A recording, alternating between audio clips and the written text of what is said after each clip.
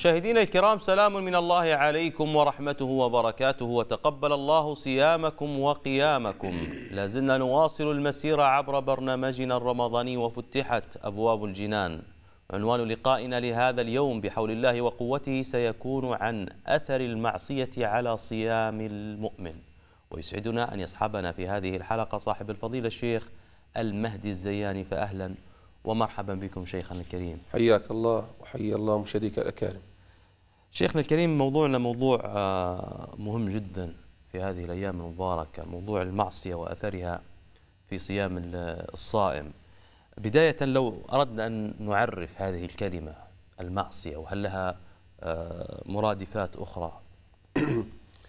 الحمد لله رب العالمين والصلاة والسلام على أشرف الأنبياء وخاتم المرسلين نبينا محمد وعلى آله وصحبه والتابعين ثم أما بعد. لا شك ولا ريب أن المعصية لها أثرها البالغ في حياة المسلم خاصة وكذلك في المجتمع الذي يعيش فيه المسلم. فيما يتعلق بالمعصية فالمعصية هي مخالفة الأمر الشرعي. والمعصية تكون بفعل النواهي أو ترك الأوامر. المعصية تكون بفعل النواهي أو ترك الأوامر. فمن وقع في المنهيات فقد عصى الله عز وجل ومن ترك المأمور به فقد عصى الله سبحانه وتعالى. المنهيات كالزنا وشرب الخمر وغيره والكذب والزور والبهتان والغش والخداع والمكر كل هذا قد نهى عنه الشارع. فمن وقع في ذلك فقد وقع في المعصية. أو ترك المأمور به كمن يترك الصلاة والزكاة والصوم. وخاصة نحن في هذا الشهر الكريم وهو شهر الصيام فترى كثيرا من الشباب عفى الله عنهم وأصلحهم الله تراهم يتهاونون في هذه الفريضة. فقد أصبحت عند كثير من الشباب إلا من أصلحه الله عز وجل يتركون الصيام يفطرون في شهر رمضان. والعياذ بالله. ولا شك أن هذه معصية عظمى وكبيرة من كبائر الذنوب. والمعصية لا شك أن لها مرادفات كثيرة. من تلك ال- ال- ال- ال- ال- المرادفات للمعصية الخطيئة. كما قال إخوة يوسف عليه السلام لأبيهم إنا كنا خاطئين. وكذلك من مرادفات المعصية آه، ال- ال- ال- الفساد. كما قال الله جل وعلا إنما جزاء الذين يحاربون الله ورسوله ويسعون في الأرض فسادا. ويسعون في الأرض فسادا أي بالمعاصي والآثام والعياذ بالله. وكذلك آه، من المرادفات أيضا آه، ال- ال- الإثم. إنما حرم ربي الفواحش ما ظهر منها وما بطل وما, وما بطل والإثم والبغي بغير الحق. فالإثم والخطيئة والفساد كل ذلك من مرادفات المعصية. وكل هذا قد جاء ذكره في القرآن. فأحيانا تذكر بلفظ المعصية عصى كما قال الله عز وجل في حق أبينا آدم عليه السلام فعصى آدم ربه فغوى ثم اجتباه ربه فتاب عليه وهدى. فجاء هنا بلفظ المعصية. وجاء أيضا كما أسلفنا وذكرنا بلفظ الخطيئة والفساد والإثم فكل ذلك من مرادفات آه، المعصية نعم. طيب شيخنا نفع الله بكم. هل المعاصي يعني على مرتبة واحدة أم أنها آه، دعنا نقول دركات ودرجة ومراتب؟ هو لا شك أن المعصية عند أهل السنة والجماعة على مرتبتين. كبائر وصغائر. كبائر وصغائر. فالكبائر ذكر في تعريفها عدة تعاريف لكن التعريف الجامع المانع في تعريف الكبيرة هي ما توعد عليه بوعيد أو بعذاب أو بلعن أو بدخول إلى النار. فأي أمر توعد الله عز وجل به وعيدا شديدا بلعن أو طرد أو غضب أو حد فكل هذه تعتبر من كبائر الذنوب.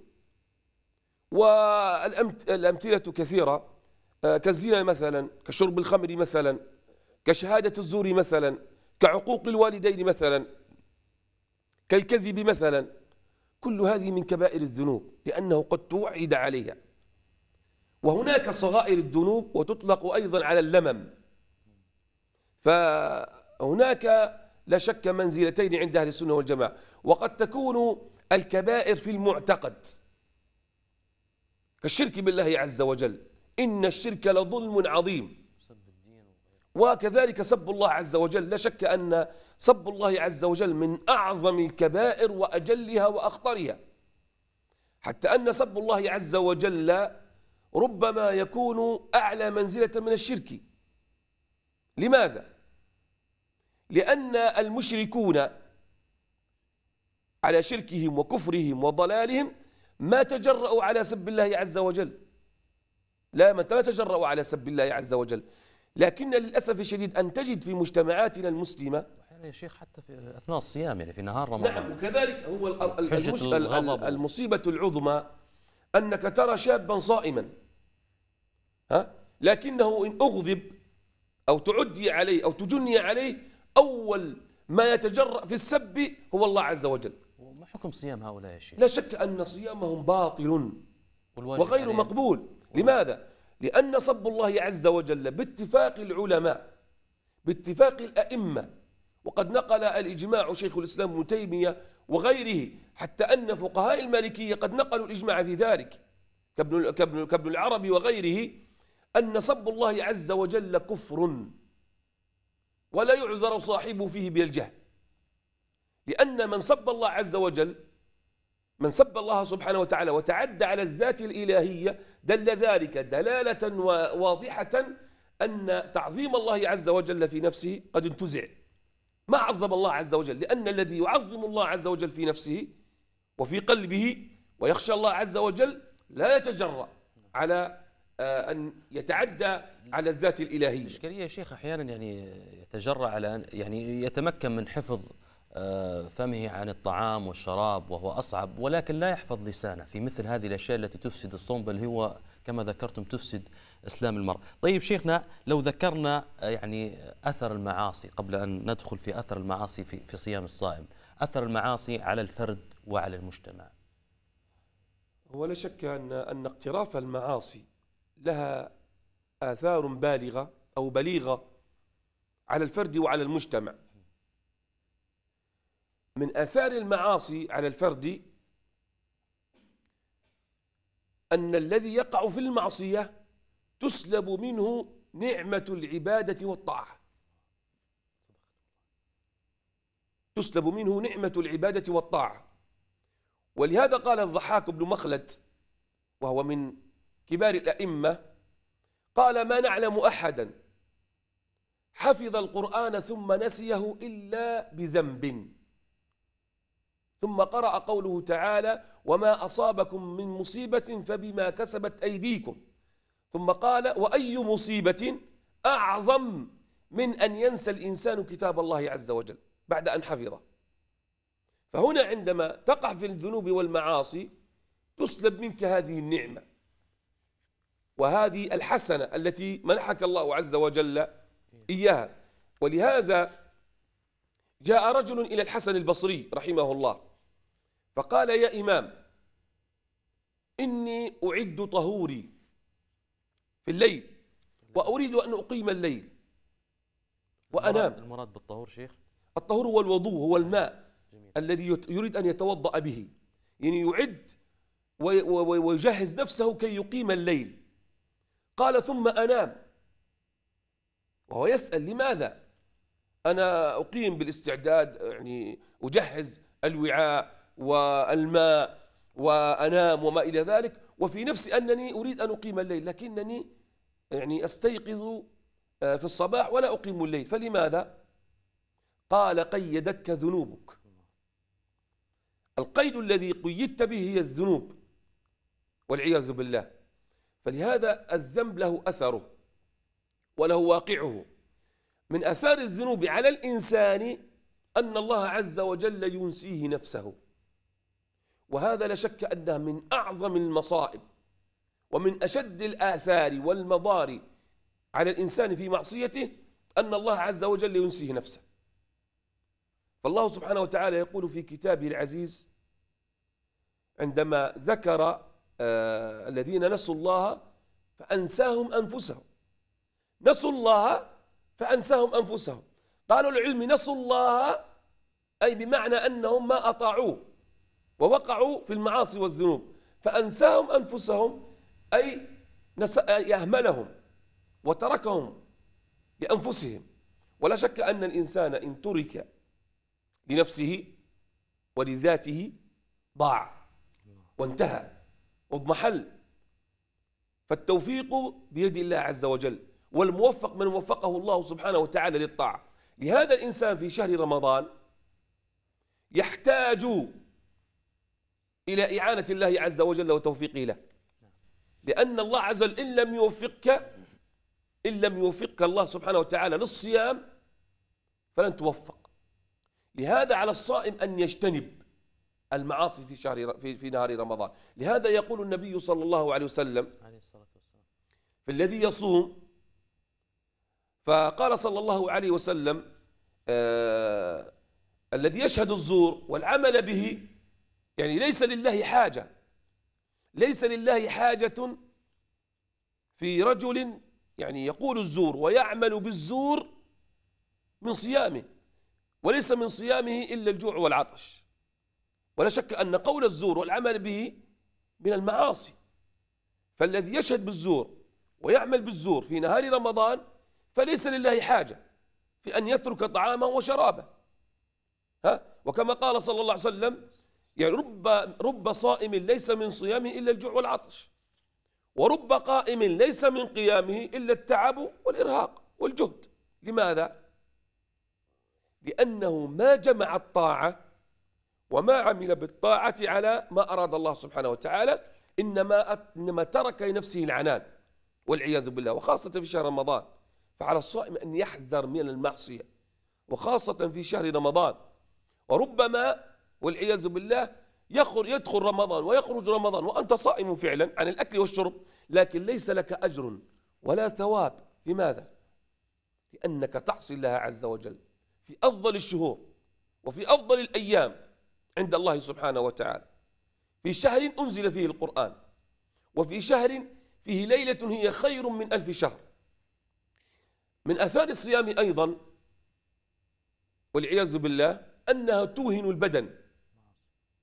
من آثار المعاصي والآثام أنها سبب من أسباب نزول البلاء والمصائب والأمراض والأوباء والعياذ بالله. لهذا يعني ذكر الإمام البخاري أو أخرجه الإمام البخاري من حديث ابن عمر رضي الله عنهما أن النبي صلى الله عليه وسلم قال ما ظهرت الفاحشة في قوم ما ظهرت الفاحشة في قوم فيعلنوا بها فيعلنوا بها إلا يعني إلا يعني آه، ابتلاهم الله عز وجل بالأوجاع والأسقام التي لم تكن في أسلافهم الذين مضوا. لهذا يقول الحسن البصري رحمه الله إن للطاعة ضياء في الوجه. إن للطاعة ضياء في الوجه ونورا في القلب وقوة في البدن وسعة في الرزق ومحبة في قلوب الخلق. وإن للسيئة ظلمة في الوجه والعياذ بالله اسودادا في الوجه وظلمة في القلب ووهنا في الجسم وضيقا في الرزق وبغضا في قلوب الخلق. فلهذا يحرص الإنسان على الطاعة. لهذا ذكر أبو العالية الرياحي رحمه الله قوله من عصى الله في الأرض فقد أفسد في الأرض لأن لأن يعني آه، الأرض والسماء تقوم بالطاعات والخيرات. نعم. طيب، شيخنا جزاك الله خير. نحن نسأل هنا عن أسباب الوقوع في المعاصي لا سيما في هذا الشهر الكريم الذي صفدت فيه الشياطين. وعلى الرغم من ذلك توجد المعاصي لا سيما مع يعني الآن الانتشار الفضائي والمواقع الإنترنت والقنوات الفضائية التي كأنها يعني تتعمد على إفساد صيام الصائمين بهذه البرامج وهذه المسلسلات والأفلام الغير هادفة فتوجيهكم في هذا.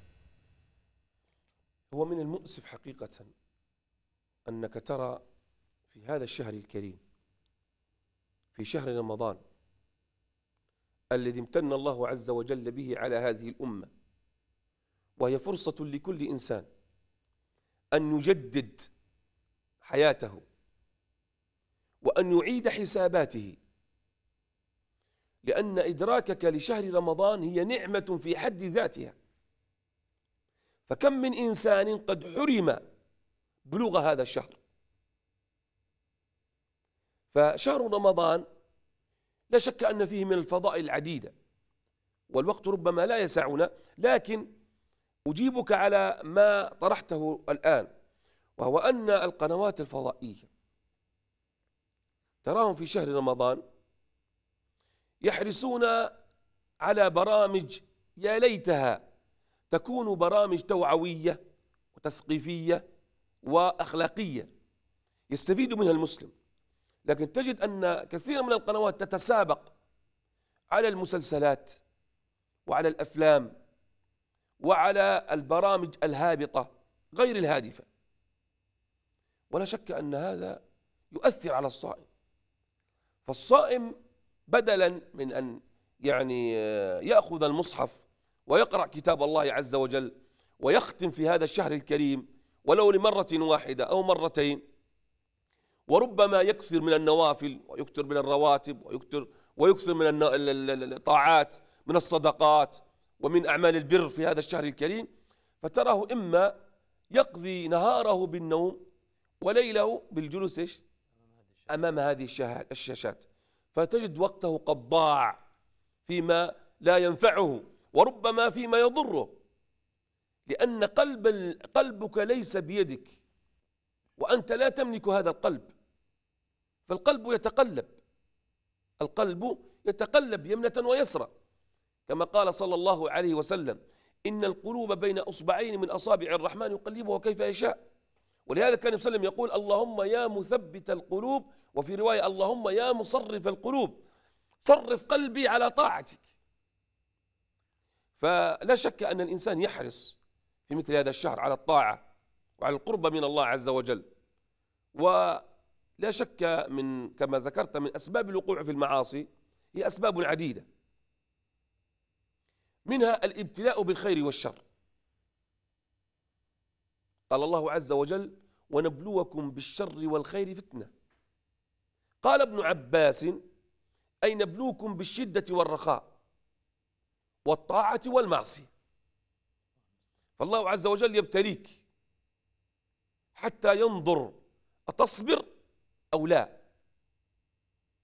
أتعصي أو لا؟ فالله عز وجل يبتليك كي يختبر إيمانك. فإن كان عندك إيمان وتعظيم وخوف وخشية من الله عز وجل أنبت ورجعت إلى الله سبحانه وتعالى. وإن كان عندك ضعف ووهن في إيمانك وفي قلبك وفي صلاحك وفي عبادتك وقعت في المحظور. من أسباب الوقوع في المعاصي أيضا الافتتان بالنساء والعشق. الذي أصبح الآن منتشرا في أوساط شبابنا بسبب ماذا؟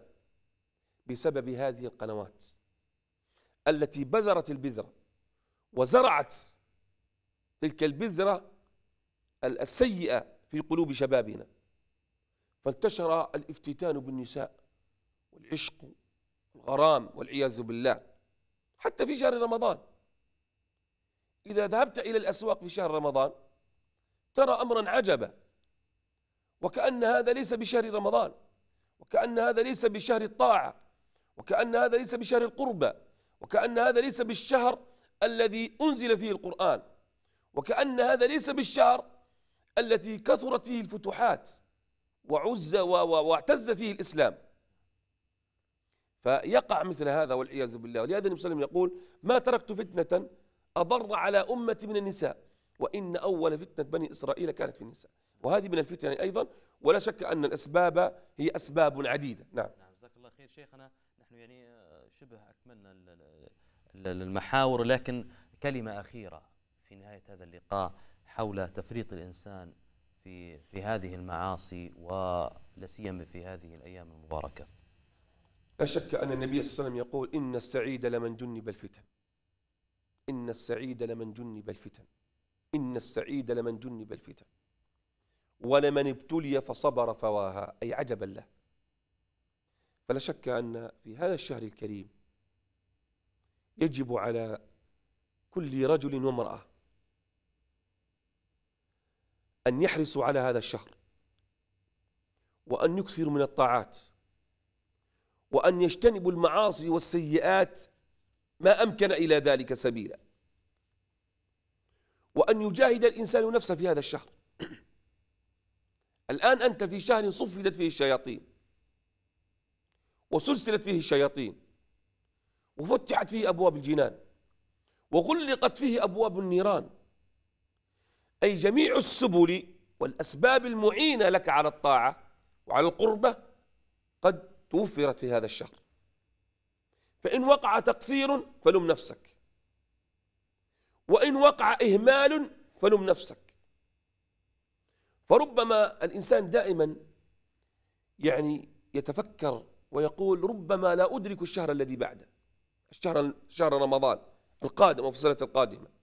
لهذا يحرص على هذا الشهر وأن يكون هذا الشهر هو آخر شهر له في رمضان. فيحسن في هذا الشهر يكثر من النوافل يكثر من الرواتب. من تلاوة القرآن من الصدقة من البر من الإحسان يتعاهد جيرانه يتعاهد الفقراء يتعاهد المساكين.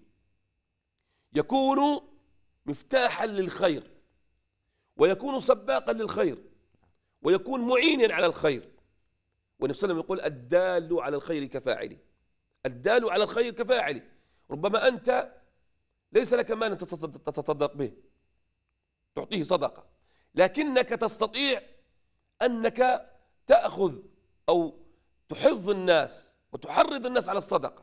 فإن فعلت ذلك فإن لك أجرا عظيما ونسأل الله عز وجل أن يمن علينا بجوده وإحسانه. إنه جواد كريم. اللهم آمين. شيخنا الكريم جزاك الله خير ونفع بكم. بهذا مشاهدينا الكرام نصل لختام هذه الحلقة حتى نلتقي في حلقة قادمة وفي يوم آخر من أيام هذا الشهر المبارك. لكم التحية والسلام عليكم ورحمة الله وبركاته.